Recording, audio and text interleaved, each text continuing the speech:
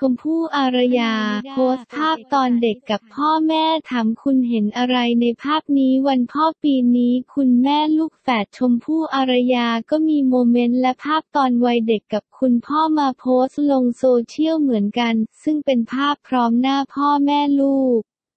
ตั้งแต่คุณยายวรียังสาวสาว ซึ่งตอนนี้คุณพ่อของชมพู่นั้นเสียไปแล้ว ชมพู่อารยานั้นหน้าตาเหมือนคุณพ่อมากฉายแววความน่ารักตั้งแต่เด็กโดยชมพู่ได้โพสต์ภาพครอบครัวสุดอบอุ่น พร้อมกับข้อความว่า How's it daddy เครื่องหมายสี่เหลี่ยมเปลี่ยนน้ำเร็วเครื่องหมายสี่เหลี่ยมเปลี่ยนดอกไม้เร็วเครื่องหมายสี่เหลี่ยมคุณเห็นอะไรในภาพนี้ และทุกคอมเมนต์ที่เข้ามาต่างบอกว่าพี่สายฟ้า ชมพู่ตอนเด็กเหมือนกับลูกชายฝาแฝดคนโต น้องสายฟ้ามากมากๆหน้าตาน่ารักน่าชังหน้าฝรั่งฝรั่งคล้ายคุณตามาก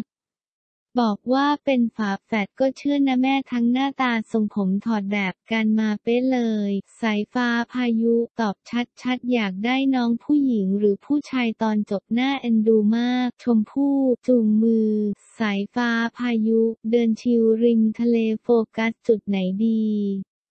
แม่ก็แซบลูกก็ฮา